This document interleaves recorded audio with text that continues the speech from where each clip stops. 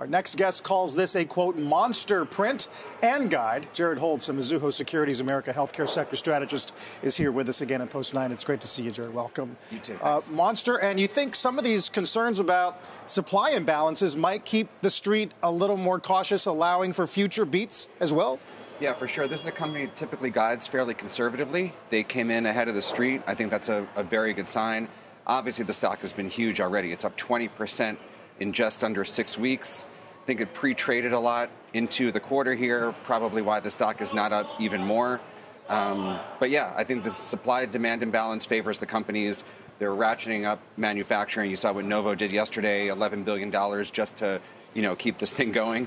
So I think yeah, it bodes pretty well. Are, are clients asking about valuation or not yet? They're definitely asking about it, but they've been talking about it for over a year, right? And it hasn't been a huge deterrent. I think part of that is because in healthcare there aren't that many big opportunities from a market standpoint where the, the street can just say, okay, this seems very clear to us that it's going to be a massive opportunity. That's kept people in the game. So 60 times earnings on this year's numbers is well outside the peer group. That's been the biggest pushback. I think that'll continue to be the biggest pushback into the rest of the year. Where are we on the next stage of uh, different types of uh, dose mechanisms or advertising that would, I guess, bolster demand even more?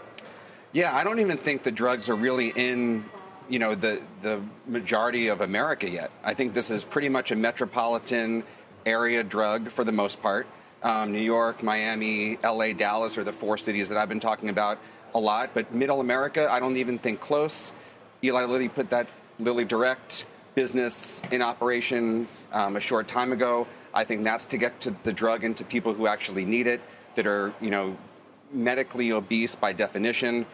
That we haven't really seen in numbers yet, and yet Zepbound did almost $200 million in one month, right? So you annualize that, not so bad. Um, I think this will probably keep going, and yeah, the manufacturing to me is probably the, the biggest hurdle. Well, you know, it's funny in manufacturing because we saw that deal yesterday for Novo Nordisk where they bought those, well, will buy those three manufacturing plants from Catalent. Is there simply going to be a capacity constraint problem here for either Lilly and or even Novo Nordisk over time? Yeah, for sure. I think that's what we're seeing. I mean, $11 billion just, you know, to make one drug essentially. I mean, it'll be more over time. Um, but I think Novo had mentioned last year they were going to set aside six billion, so they almost doubled that number with the deal. You know, supposing this goes through with FTC, et cetera. Um, yeah, I think Lilly has earmarked three billion. So these, this is the most sort of substantial manufacturing or capacity build that we've seen in the drug industry, maybe ever. I mean, certainly since COVID.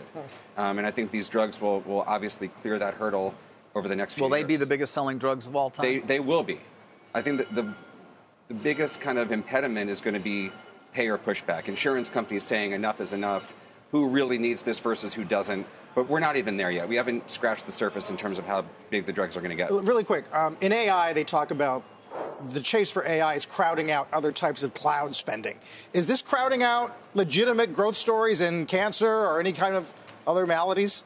I mean, from an investment standpoint, I think certainly, right? These are the easiest stories to understand kind of ubiquitously, and I think the street is, is obviously onto it and has been onto it for a while. Um, in terms of manufacturing, potentially, I mean, that's one of the things that I think Novo and Lilly both have alluded to, which is to say that the capacity that they have for manufacturing in this one category, yeah, that might eliminate, you know, different SKUs for other drugs, but I, I don't think we're, you know, in that arena yet.